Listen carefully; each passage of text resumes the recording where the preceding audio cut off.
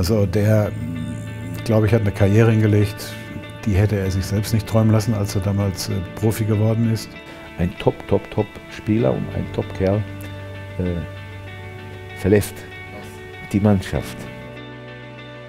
Philipp ist eine absolut, absolut Legende für diesen amazing Verein. He is, and he was a fantastic professional, strong character, fantastic quality, really humble man. Die einzigartige Fußballkarriere von Philipp Lahm beginnt bereits mit vier Jahren bei der FT Gern. Ich wohne gleich oder meine Eltern wohnen jetzt immer noch da. Ich bin hier aufgewachsen in dem Verein. Mit elf Jahren wechselt der gebürtige Münchner dann zum FCB. Das hat Bayern sehr clever gemacht, ähm, dann vor 63.000 äh, Leuten im Olympiastadion Balljunge zu sein. Äh, genau, haben den Köder ausgeschmissen und äh, ich habe angebissen.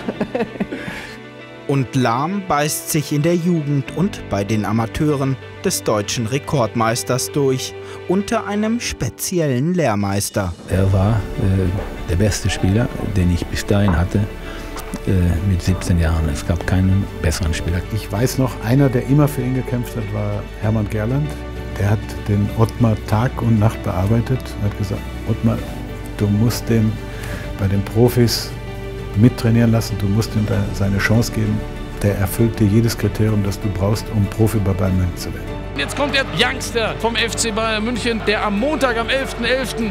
seinen 19. Geburtstag feiern durfte. Ein Verteidiger, ein guter Mann, ein Mann für die Zukunft, Philipp Lahm. Es ging um nichts mehr in der Champions League. Letztes Gruppenspiel, Bayern war schon ausgeschieden im Olympiastadion. Ähm, es war richtig kalt, ähm, aber für mich ein Traumtag, äh, das erste Mal, auch wenn es nur drei Minuten waren. Und dann kam der Hermann immer und sagte, ihr müsst ihn dann ausleihen, der muss spielen. Dann haben wir ihn nach Stuttgart zwei Jahre ausgeliehen. Ich musste ihn wegschicken, ich musste ihn abgeben, weil es wäre Perlen vor die Säue gewesen, wenn Philipp Lahm noch ein Jahr in der dritten Liga gespielt hätte. Bei seinem Bundesliga-Debüt im VfB-Trikot am 3. August 2003 ist Lahm mit seiner ersten Aktion gleich am 2:0 Siegtreffer gegen Rostock beteiligt und hätte bei einem Abspiel sogar selbst zum Torschützen werden können. Lahm entwickelt sich rasant. Dann wurde er da nach wenigen Monaten ja auch Nationalspieler sogar, nicht nur Stammspieler, Nationalspieler und machte seinen Weg als ähm, Stuttgart, nach Stuttgart verliehen wurde, natürlich äh, war es auch für ihn sehr gut, weil er da gewachsen ist, zum Mann geworden ist. Es war klar, nach zwei Jahren nach, dem, nach der Ausleihe kommt er zurück und spielt dann bei Bayern München. Im November 2005 absolviert Lahm in Bielefeld sein erstes Bundesligaspiel für den FCB und startet gleich voll durch. Dann kam Philipp und kam wirklich mit Brachialgewalt. Der Defensiv-Allrounder wird schnell zum unverzichtbaren Stammspieler bei den Bayern. Lahms erstes Bundesligator für den FCB 2006 in Bochum. Philipp Lahm mit dem Tor, yeah! Seinen ersten und einzigen Pflichtspiel-Doppelpack erzielt er im Oktober 2014 im Ligaheimspiel gegen Werder Bremen.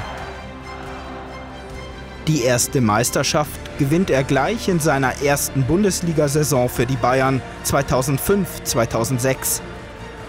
Das erste Mal deutscher Meister zu werden, das ist was ganz Besonderes. Das war mein erster größerer Pokal und ähm, deswegen war das mit Sicherheit ein großer Moment. Es folgen noch viele weitere Titelmomente. Insgesamt wird Lahm achtmal deutscher Meister und sechsmal DFB-Pokalsieger und räumt auch international alle Vereinstitel ab. 2013 die Champions League, den UEFA Supercup sowie die Club WM mit Lahm als Kapitän. Erstmals führte er den FCB im Januar 2011 im Pokal gegen Aachen als Kapitän aufs Feld. Er ist eigentlich, muss ich fast sagen, der perfekte Kapitän. Er ist ein Eigengewächs, er ist Bayer, sogar Münchner, ist hier ja geboren in München. Und er ist ein, ein kluger, intelligenter Mensch und es macht Spaß mit ihm auch über Fußball zu sprechen. Das 1,70 Meter große Münchner Kindl, ein waschechter Bayer und ein ganz großer in der Geschichte des deutschen Fußballs. 113 Länderspiele für Deutschland, langjähriger Kapitän im DFB-Team, als verlängerter Arm von Joachim Löw 2014 in Brasilien die Krönung mit dem WM-Titel. Einen Tag später das Ende der Nationalmannschaftskarriere nach seinem größten Triumph, den er selbst auf seinem Heimatplatz Jahre zuvor schon mal durchgespielt hatte. Andi Bremen 1990. WM-Finale. Ja. Tor! Tor! Und genau dahin. Philipp Lahm, von der FT Gern auf die große Fußballbühne ausgezogen, um eine beeindruckende Weltkarriere hinzulegen.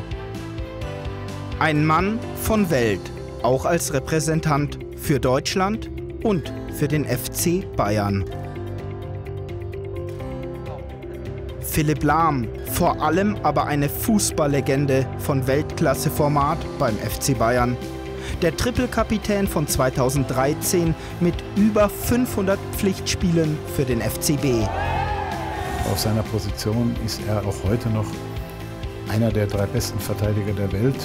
Ein äh, absoluter Weltklasse-Spieler, rechter Verteidiger gewesen, immer, ist jetzt noch wie der da rumfetzt auf, an, an, seiner Außenlinie dort vor, zurück, vor, zurück und spielt ja noch super Fußball. Also Hut ab vor ihm. Philipp hat sich eben ausgezeichnet, äh, dass, dadurch ausgezeichnet, dass er einen unglaublichen Willen hat. Solche gibt es nicht viele, glaube ich, die eine Mannschaft so gut führen können wie Philipp Lahm. Äh, ich glaube, es ist eine Bilderbuchkarriere, äh, die er hingelegt hat. Was er getan hat für die deutsche Fußball und für den FC Bayern München. Ja, da kann man nur sagen, Hut ab. Mit Philipp Lahm nimmt nun ein außergewöhnlicher Leader und absoluter Teamplayer in der Mannschaft des FC Bayern seinen Hut.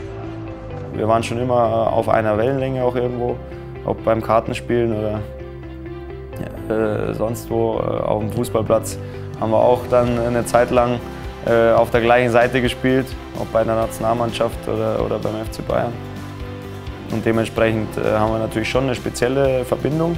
Ich war viele Jahre an seiner Seite und konnte viel auch von ihm lernen. Und äh, ich denke, dass wir ähm, immer einen guten Austausch hatten und dass wir sehr viel Spaß zusammen hatten.